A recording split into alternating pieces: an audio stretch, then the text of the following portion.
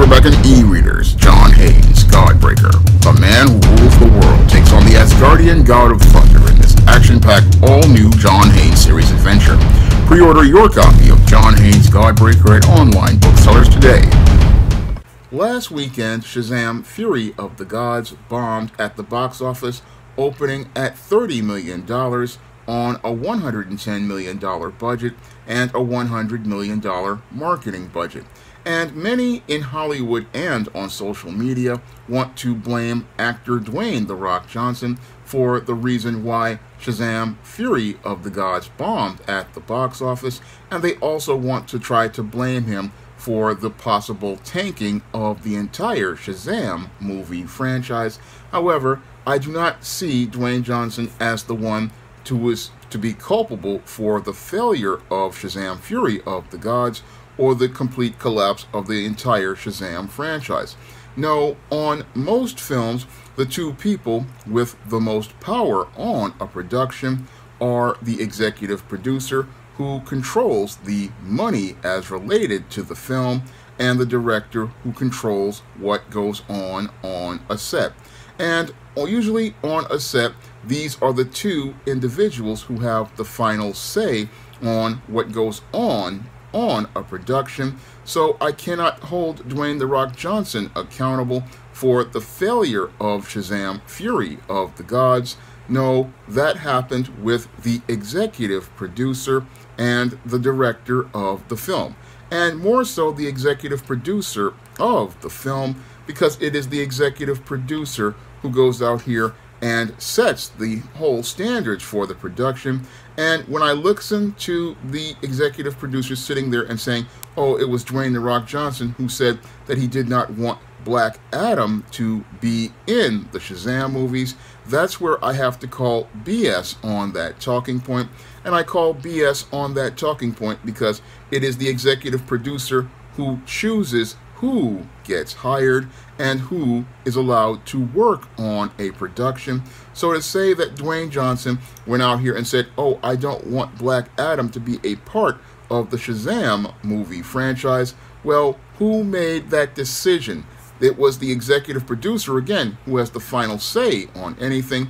Because if Dwayne Johnson is coming in and making demands as related to where he's going to be on your production, that really shows the weakness of the executive producer as related to this production. Now, what I believe happened here is that these executive producers wanted to create a covert contract where they believed that if they went out here and recruited Dwayne Johnson to star in Shazam, he would go out here and be a, a, way to get for them to get easy box office. However, it just didn't work out the way they expected. Now, these producers say sat there and said, "Oh, well, Dwayne Johnson said he didn't want to play Black Adam." in the Shazam movie because it would make him look like a bad guy. Well, any seasoned executive producer, once they heard an individual saying, Oh, I don't want to play the role that I'm offering you, what they do is say, I'm withdrawing my offer and I'm going to go find another actor. That is what any good executive producer does.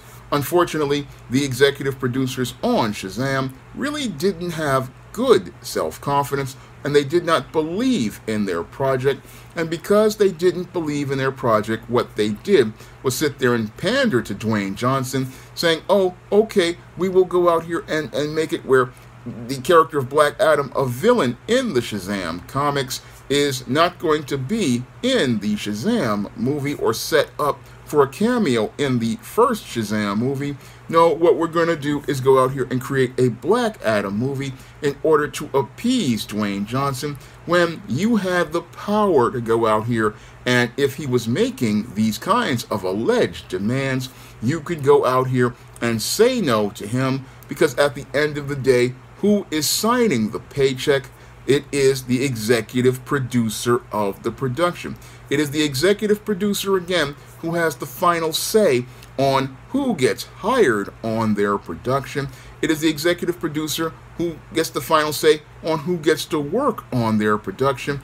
And all of these things could have been negotiated as related to the deal between Dwayne Johnson's agent and the executive producer. Unfortunately, it seems like the executive producer seemed to have lost their backbone and their stones as they were out here negotiating with Dwayne Johnson, and they want to make Dwayne Johnson the bad guy in this story. However, Dwayne Johnson isn't the bad guy as related to the failure of Shazam Fury of the Gods. No, the failure of Shazam Fury of the Gods falls on two people. It falls on the executive producer and it falls on the director.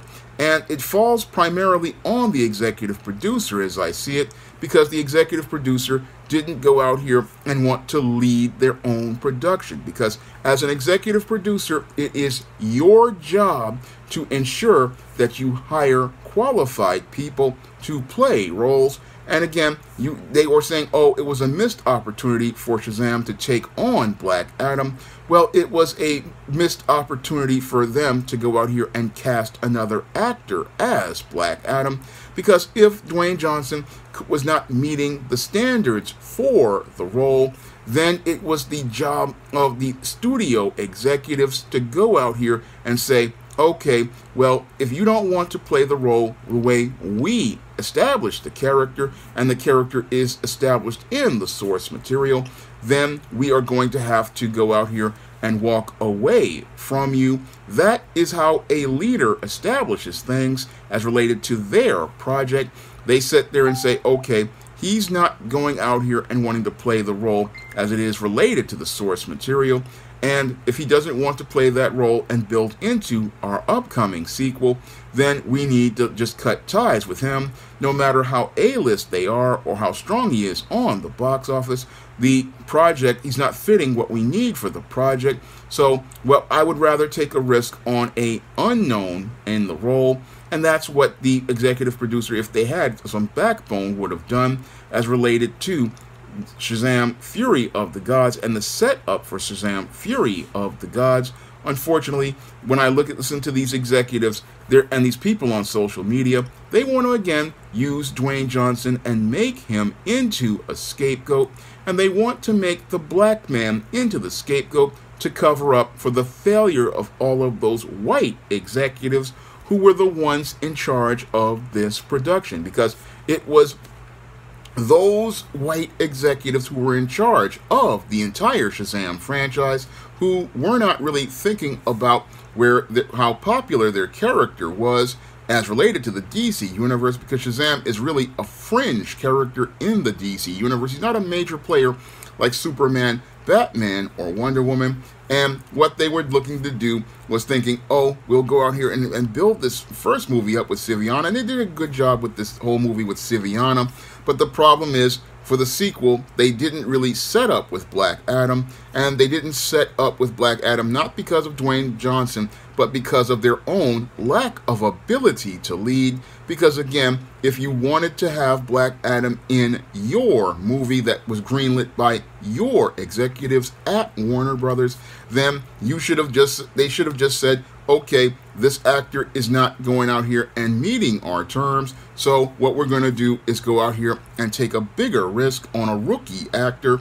And maybe if they had taken a risk on a rookie actor the way they that um, Richard Donner did with Terence Stamp in Superman 2, they would have possibly had a great villain overall for the film. Because in Superman 2, they got Terence Stamp to play Zod, and that role became Terence Stamp's signature role, and it, he played that role so well with such, such just evil presence. I mean, he basically defined the character of Zod with his great performance, and he was, again, not a known name, but he was somebody who was able to make that character come alive, and that's something that the, the producers of this film were not really thinking about as related to Shazam. They weren't thinking with the forward thinking that Richard Donner was thinking when he did Superman 2. Because when Richard Donner did Superman 2, he was like, okay, I need an actor that fits the character. I don't need to go out here and create a covert contract for the uh, villain to draw at the box office. No, what I'm going to do is find an actor who fits the role. And once I get the actor who fits the role, then we can get the box office because people are coming to see Superman. But what they wanted to do was go out here and try to go out here and try to again pander to Dwayne Johnson. They made a Black Adam movie that was mid, and then they made a Shazam movie that was mid because their focus was on the actors and not on one of the most essential components of a film, and that is the screenplay. Because when it comes down to making a film, the foundation of a great film starts with the prep on the screenplay and if your screenplay isn't good, your film isn't going to be good. And as I was sitting there reading the synopsis of Shazam Fury of the Gods, this film was a jumbled mess because of the screenplay. And it was the screenplay that undermined this film. And it was just like Black Adam, the problem at Warner Brothers is the writing. And I can't, again, blame Dwayne Johnson for the failure of Black Adam or the failure of Shazam Fury of the Gods. No, the failure started in the corporate office, and it started in the corporate office with these white executives who sat there and looked to pander to Dwayne Johnson and allowed him to take over their production as they allege and again, showing weakness of leadership because these guys were sitting here saying, oh, it's the black guy who caused us to fail. No, it was you who caused yourself to fail because you refused to take the lead on your own project. You refused to set a tone for your project. You refused to set a direction for your project. And when it came down to the overall Shazam franchise, it was a jumbled mess and it was a jumbled mess because the people who were producing this film didn't know where they wanted to go. I mean, you went from the first Shazam movie, which was a light action comedy, to the Black Adam movie, which didn't know what it wanted to be, whether it wanted to be an action movie or a comedy movie. And you also had Shazam Fury of the Gods, which still had that lack of focus. It again didn't know whether it wanted to be a comedy or an action movie. So the problems there start with the executive producer who did not set a tone for the film, did not have a vision for the film, and, and wound up in a hole because what they did was sit up here and try to force two concepts together. I mean, when I look at Black Adam, it stylistically doesn't fit with Shazam, and that's possibly why Dwayne Johnson wanted to have a separate movie because you have one movie that is lighthearted and kind of fun. Then you have another movie with a serious tone, and you have a character who is serious. So you have two characters who are basically diametrically opposed to each other and do not flow together organically. But it's Dwayne Johnson who is the one who caused this mess. No, I can't say that because again, when you're working on a screenplay and you're working on with different characters, those characters either work together or they don't. And that was something possibly Dwayne Johnson and noticed, like I noticed, that these two characters, Black Adam, who has a very serious tone, is not really flowing with this Shazam movie with a lighthearted comedy style. And if you had put Black Adam in the film, it would have been very jarring because here you have a very serious character, and then you have this guy, Zachary Levi, just going around goofing and joking. It doesn't really mesh well together, and that's why we saw Shazam Fury of the Gods fall completely apart, because here we are going from a lighthearted character to these um, gods who are supposed to be very serious, and both of these characters are not synergizing on screen, and that's possibly why this movie basically flopped at the box office because these executives were not really thinking critically about how these two characters would flow together. And they're sitting there talking about, oh, it's Dwayne Johnson who caused this because he was a so called prima donna. No, the problem was you had weak leadership running this production and they were allowing the production to run them instead of them running the production and that really showed to me with black adam when they reshot most of that film again no confidence in what you're shooting no confidence in your story because you're not confident about your screenplay but they all want us to start believing oh it was dwayne johnson who led to this whole thing failing no i can't do that as i believe that as somebody who has been studying the entertainment industry for over 25 years. No, as someone who has studied the entertainment industry for over 25 years, I know that at the end of the day, there are again two people who control a production, and they are the executive producer and the director. And the executive producer and the director are the ultimate ones who are in charge of how what goes into a film, what gets put into the script. They are the uh, ultimate ones who run a production. And while Dwayne Johnson could go out here and again influence things like saying, "Oh, I want Henry Cavill to make a cameo," Again, that was signed off by who? The executive producer and the director. That was signed off by them. So if anybody wants to blame someone for the failure of Shazam 2, then you might have to go to Peter Safran, you might have to go to the director, you might have to go to the executive producer who was running Warner Brothers at the time, because they were the ones who, again, could have easily said, okay, Dwayne Johnson might be a A-list star, but we, he's not meeting the criteria we need for this role. So we're going to pass on him and we're going to go out here and seek another performer and hire that performer for the role. That is what any good executive producer would say. Even if they got A-list stars interested in their material, they're going to say, oh, I'm going to put the material first and I'm going to put the material first because the material is what we're trying to go out here and make the best adaptation of.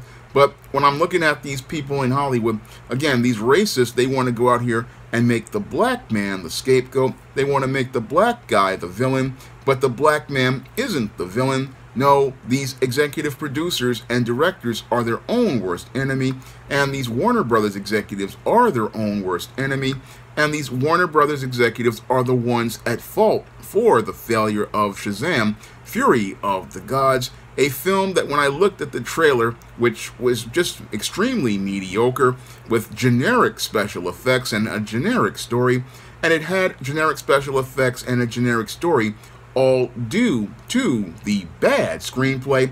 And again, when I look at Black Adam and I look at Shazam Fury of the Gods, again, entertaining films, but just not good enough because of the screenwriting, which is the big problem at Warner Brothers, because at Warner Brothers, they don't understand that like a guy who paints a car, the start is with the prep, and if you get good prep, you're going to get a great finished result.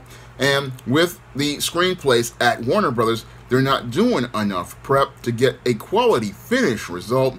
And I know this from experience as being a screenwriter. When I go out here and I'm prepping for a script, I'm doing my research like I did for All About Maryland, where I'm doing research on black actresses. I'm doing research on 1990s teen sitcoms. I'm doing research on child stars. I'm doing research to make sure that when I, as I'm doing prep before I put fingers to the keyboard, that the final finished product is rock solid.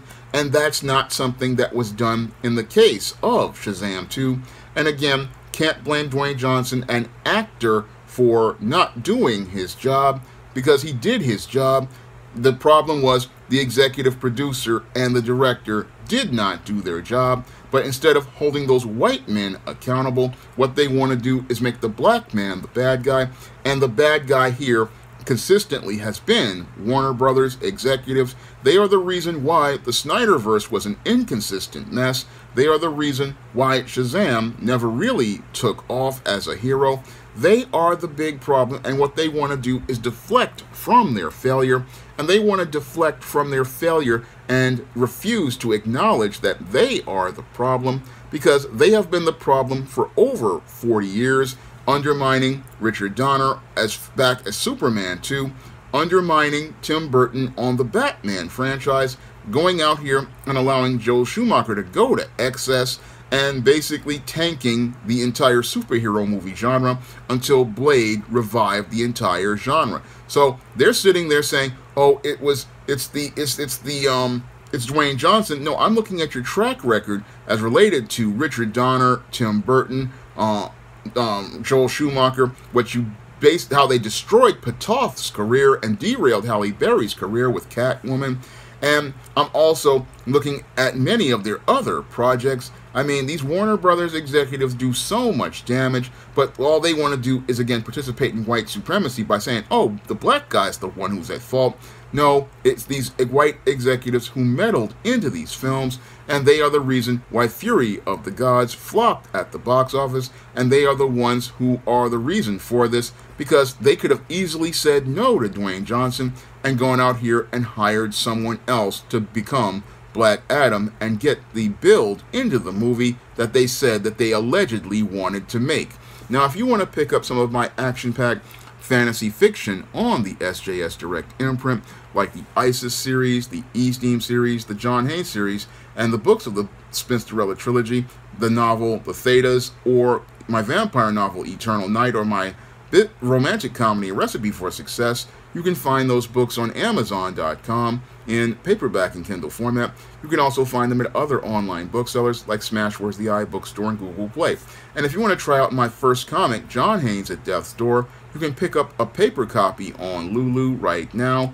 And if you also want to see me do more videos about comics, science fiction, and fantasy, you can send a donation to my Patreon, my PayPal, or my Cash App by clicking the links in the description box. That's all I have to say for this video. You can comment, rate, and subscribe. Now available in paperback and e-readers, ISIS, Revenge of the Cyber Goddess. The goddess next door takes on the threat of a deadly digital diva driven to destroy the world in this action-packed, all-new ISIS series adventure. Get ISIS, Revenge of the Cyber Goddess featuring a bonus pin-up and the other two books in the Cyber Goddess saga at online booksellers everywhere today.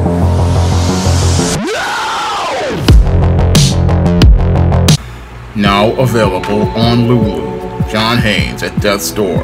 The man who rules the world takes on the Greek god of death in this action-packed, all-new John Haynes comic book. Get your copy of the first John Haynes comic at lulu.com today.